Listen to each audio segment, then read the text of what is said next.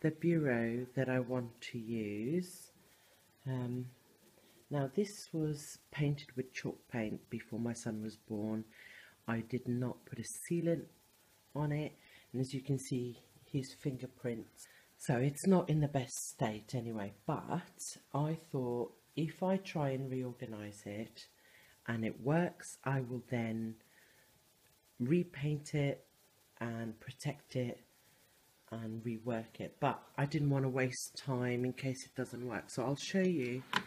It's a bit of a mess.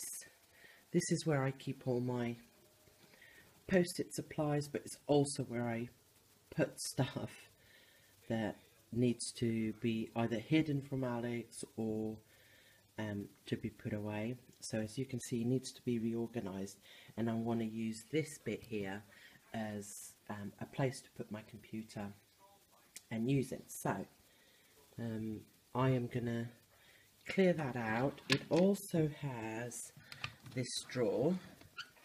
So you can see we didn't paint the inside, we painted that. So there's the original colour. Um, and at the moment it's just got a load of stuff. Um, and it also has this bottom here which I've got organisers in but it's not really organised so I'm going to have a good clear out and try and sort it out.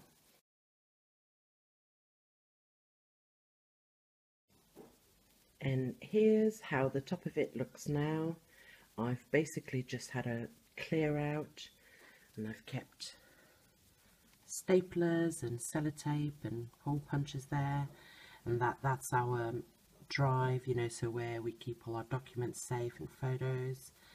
And just bits and bobs down here. That, paper clips and other bits, calculator, my vanilla and canela cards. And then on the other side, I have my Orla Kiely address book, post-it notes, sticky notes. This is um, a sticky note cupcake thing from Tiger at the back there I have some more uh, stationery bits um, there you go. And then on here I just got my planner. I found this little pad which I'm actually also by Orla Kiely um, which I'm actually going to take upstairs and keep on my bedside table because a lot of the times I'm lying in bed and the best ideas come to me and then the next day they're gone. I have a things to do pad and that's by Emma Bridgewater and then just a normal pad for ideas. I've got a little Kiely um, coaster.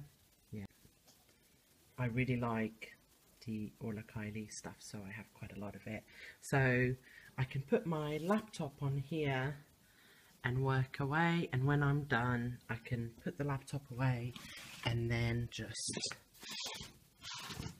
put those there and close close it so in the drawer here I've used these uh, Poundland Curver lookalike baskets to just keep pens and pencils. This is something that I already had and I didn't want to go out so I've actually spent no money reorganizing this.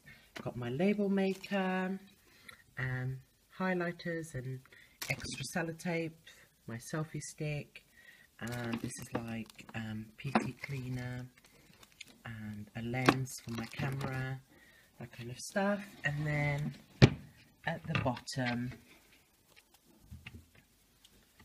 I've just got um, my Scentsy packs. So my Scentsy, one of my Scentsy warmers lives just here, so it's just easy. All of that is by Orla Kiely. And then on the side there, I've just got some extra CDs and DVDs. Um, and then I've just reorganized, um, just put new labels on those.